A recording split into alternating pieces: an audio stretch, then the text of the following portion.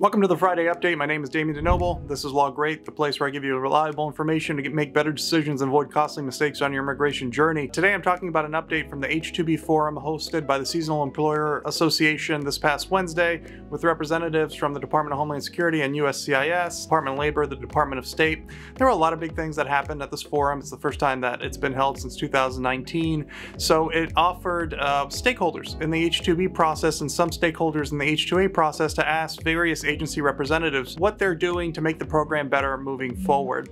And a lot of things came out of that program that are the a lot of things came out of that forum rather that are really really positive. So I just want to touch on a few of those and I'll start with the Department of Labor, go to the Department of State and go to USCIS, but I'll give you kind of my top 3 uh, positive uh, changes that are happening first. Okay, so the first thing to know, I just this is kind of number one for me personally because I I've, I've hated this part of the process. USCIS says we are not going to have to file I-129 forms and duplicates going forward. So that again, we don't have to file the I-129 form and duplicate going forward. I'll believe it when I see it, so I might still file a duplicate for this coming uh, additional worker season. But if that's true, that's huge. USCIS has also said they are working or talking about working on an electronic I-129 form submission system. They are not committing to a timeline because it's a complex form and hey, we've already spent over $3 billion trying to digitize the USCIS and the ELIS system, so why go any faster than need be? But I digress. Okay, my number two big development, the Department of Labor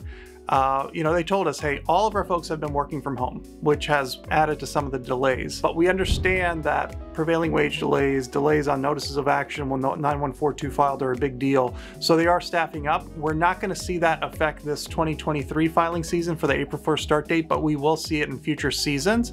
So just get ready for another set of, you know, longer wait times for notices of action and understand that it's because, and I didn't know this before the forum, 100%, nearly 100% of the Department of Labor workforce that works on those prevailing wages and 9142 decisions is working from home. So in your head, when you're not not getting a response, you know, after you've respond responded to a notice of deficiency and you'll get a response in 10 days, no, that's a person from home.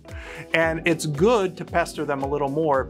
I had a lot of luck past two, three seasons really pestering via the helpline and via emails and uh, to, to get something looked at when it's when it's um, caught a hitch. And now I know what I suspected, which is that those workers are all working from home. Okay, so that makes things complicated. Okay, so that's number two. And then number three, the Department of State said that they are staffing up for this season at the consulate, specifically Mission Mexico, knows that there is increased demand in this program and in the H-2A program, and they are adding 50% additional staff at least. So it should make consulates, um, you know, uh, smoother sailing in some parts of the world, okay? But now let's get into the nitty gritty. What's really interesting about the uh, Department of Labor is that Podcast. Everybody's been reporting this notices of deficiency issue, and so Department of Labor gave us some stats. They said 50% of new filers received a notice of deficiency last year, last fiscal year, while only 25% of return filers did. So you have, you know, 100% greater chance of getting a notice of deficiency on your first filing than you do on future filings, and you have a one in two chance of getting a notice of deficiency. So intuitively, I've always told my clients, get ready for a notice of deficiency. Well, now I can tell them you have a 50% chance of getting one. And really, if you're not in a landscaper category or some other very common category for this program, you have a much higher chance than that of getting notice of deficiency. Because the other thing that we know, and this has been um, just a recurring complaint, is that these notice of deficiency rejections are spurious and without fact. And that's because DOL has told us, hey, these folks, not only are they working from home, but a lot of them are new. Remember, these are civil servants looking at it. These aren't attorneys, these aren't trained agents, but they, there are a lot of new people that have trouble you know, distinguishing between seasonal, peak load, intermittent, one-time occurrence need. And specifically, you know, I've always seen that peak load is the toughest one to argue for because people don't understand the difference between it and seasonal. They don't understand necessarily more complex arguments, if I can say that.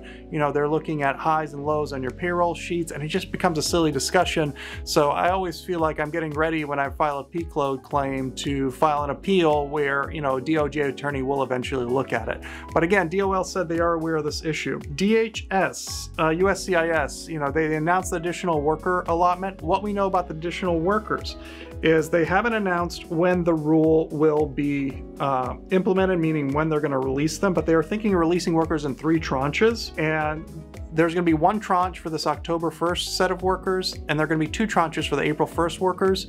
One that's going to be released shortly after the April 1st deadline passes, and then one later for people who are filing later. So this stands they're thinking about uh, releasing 15,000 additional workers very quickly. And so then the question becomes, is there going to be a lottery for those additional workers for the April season? Possibly. For the, this October 1 season, is there going to be lottery? Probably not. We think that there's going to be uh, more positions available uh, with these additional workers that are going to be necessary, and some of those may therefore roll over to the April season. Okay, what else is there that is really important? Um, oh yeah, they did actually give a split, and so this is um, Seasonal Employment Alliance put this out. 19,858 visas for October. That will be for returning workers, 20,000 Northern Triangle visas for new workers. So a total of 39,858 workers will be released for the first half. Let me back it up. 19,858 returning worker visas released for both this October half and the April half.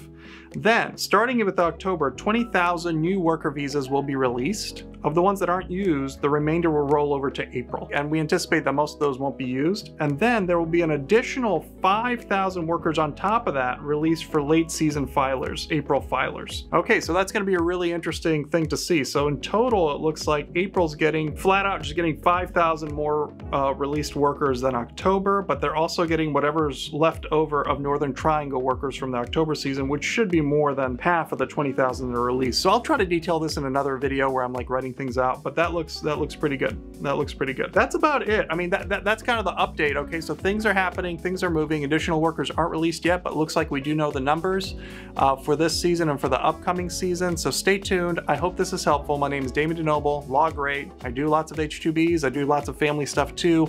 If you do want to file an H-2B, deadline's coming up. Like that's got to be filed at the latest by November 10th. And I say that because it's going to take probably 40 days. It could take longer to get the prevailing wage back.